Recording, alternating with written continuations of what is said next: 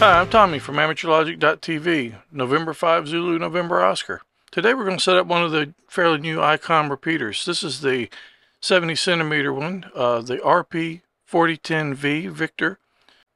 It's a really sweet machine. It's got an integrated controller.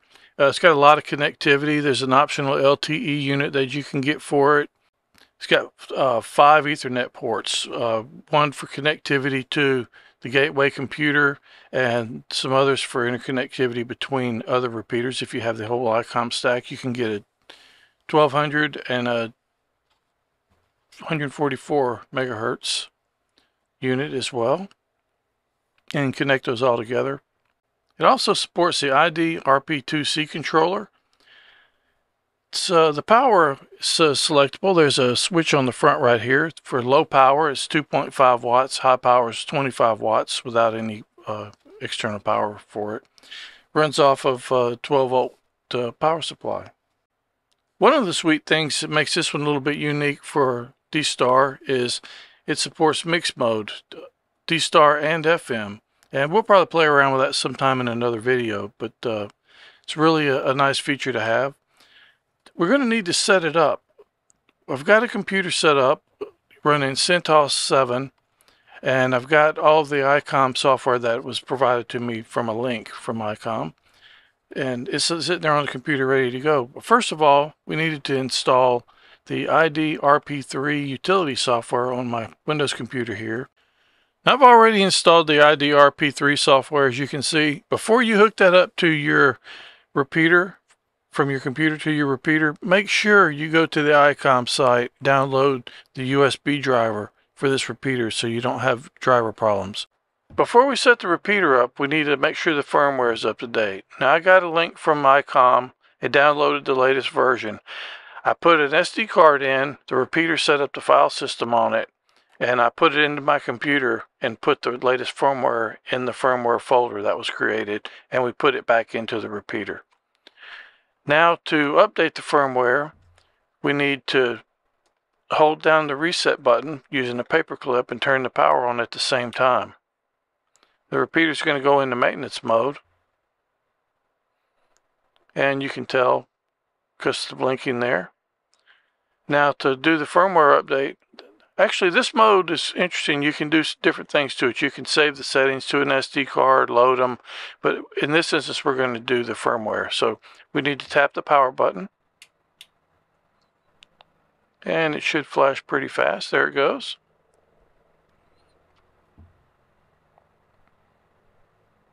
And looks like we're done. So let's go check it. That should be version 1.12. Okay, I'm using the utility software IDRP3. I had that pre-installed. But let's check the version number for the firmware. So we'll go into Program, Information, and we'll scroll down. We can see it's on 1.12, so my firmware did work. Uh, previously it was 1.11. So I'm going to go into the common section here. We need to set up everything. Our receive frequency is going to be 4, 447 0.075. DDs for data, we don't do that on the 70 centimeter version. This is where the sweetness is right here. We're going to go from DV mode into mixed mode so we can do FM or D star like we mentioned previously. I'm going to leave the lag time alone. We'll put our call sign in, W5AXC, that's 567, and we want to be module Bravo so we put that in the eighth position. Incidentally, if you don't put it in, it'll assign an A to you and put it in the right spot. So you can always go back and just change that to the B if you're doing the 70 centimeter. Two meters would typically be uh, module C. Squelch level, we'll leave all that alone for the moment. We don't have an external preamp. So let's go over to digital repeater. Gateway, we're going to use our gateway server that we set up, and we'll take a look at that shortly. The That's the IP address, the standard one, so I would encourage you to use that one. And monitor, don't have. Simple gateway is for Japan. I believe that's all we're going to need in here. Analog repeater. We'll leave most of these on default for the time being. We're going to use a CW for the ID, And I think most of these will be okay, but we do want a tone. So I'm going to go down to signaling receive, and I'll, I do not want you to be able to get into my repeater without a 77 hertz tone. So we'll set that up. Network. Uh, I've got the second NIC in our computer set uh, for 172.16.0.1. So we need to set up the network. So I'm not going to use DHCP. I'm going to set this to off. Just take the defaults here. So that's on the same subnet as our other NIC in our sec in our computer. And I'll leave the ports alone as well. NTP will let that get the time from the uh, government there. Set the offset. We're in minus six area. So let's go ahead and save these settings. Save as. And I'll just call these repeater. Let's write them to the repeater. Go to program, write. Yes, I am very sure. And it was successful. Well, let's try it out. We've got a dummy load set up on the back here. And I'm going to see if George is listening. W5JDX,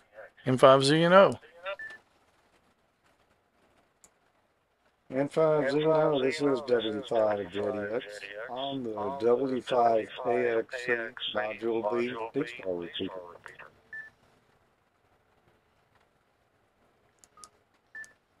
Oh, very cool. Actually, it's mixed mode repeater. So let's try FM. Okay, DV worked. So we just switched over to FM. Let's see if the mixed mode function works. W5JDX and 5ZNO. N5ZNO, W5JDX, and Glorious Analog. All right, looks like we're in business. N5ZNO. W5JDX clear. The initial test was successful. Let's go to the Linux computer. We need to install our gateway software. Now, I already downloaded it. The instructions that were provided to me from ICOM, there's a, a sheet that you'll get, PDF file. It's actually available on the internet. You can download it. But I will go to my temp folder. Actually, I'm going to run this in terminal. Okay, we'll go to our, let's go check our software. We've got CD, TMP. And we can, you can see we've got our G3 installer script already here. And we've got the RPMs that were pro provided to me from ICOM already in the temp folder, which is where they recommend to set them up from. Before we run the installer, there's some ports that need to be opened up. The, the, I'm going to put the list on the screen right here. So make sure you've got those open because it's going to need to connect to the US Trust servers and back and forth and do some talking like that. So those definitely have to be open. Next up, we need to run the G3 installer. There's some options that you can do. You can skip the port test, uh, various assorted things. If you got a different IP address set up, you can do that. But I've got mine's all set up for the default. Let me show you the setup before we run it. We'll go to System Tools, Settings, Network. Now I've got two NICs in here, which is required. One goes to the internet, which is that one. This is the one that's hooked up to the repeater. I've got it set up per the instructions to 172.16.0.20. So that's on the same subnet you saw set up on the uh, repeater for earlier.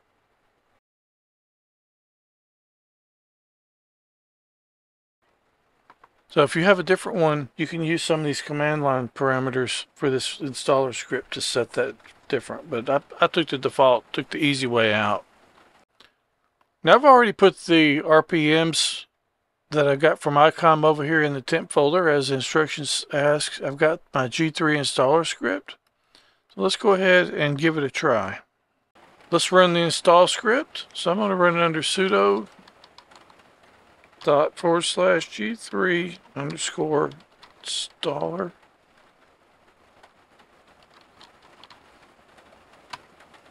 Enter my password.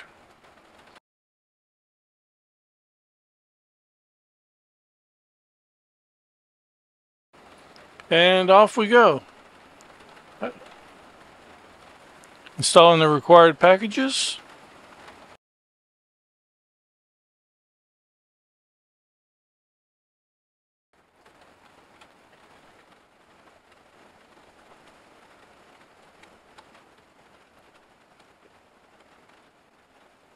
Here installing D-Star. Check the log for more details. So that is G3 installation. Appears I ran the old version of the RPM instead of the most current one, so that was my mistake. Well, we can take care of that though.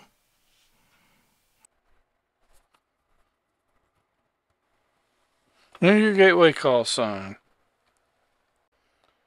W5AXC.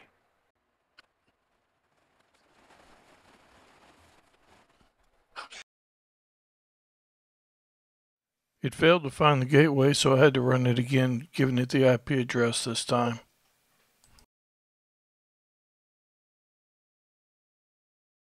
Here I'll just hit enter and we'll take the call sign that I entered previously. Now we got to enter the keyword for creating a backup of the G2 software, but we don't have G2 software on here, so I'm just going to do that and leave it blank. Registered administrator. Tommy. Here's my email. Yes, I am sure. The information will be registered.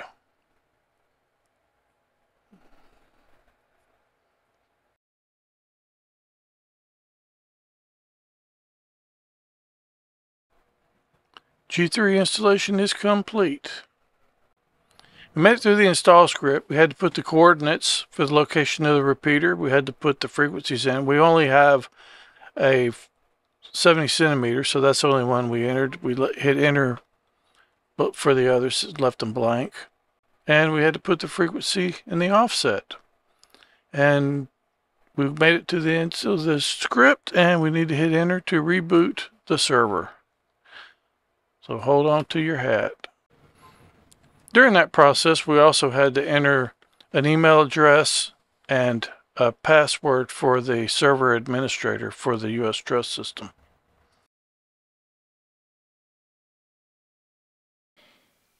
I hope you found this video useful. As you can see, things don't always go perfect every time. There are ways to correct behind yourself. Check the command line switches, make sure you've got the most current software and just check the documentation. I hope to hear your system online soon. 73.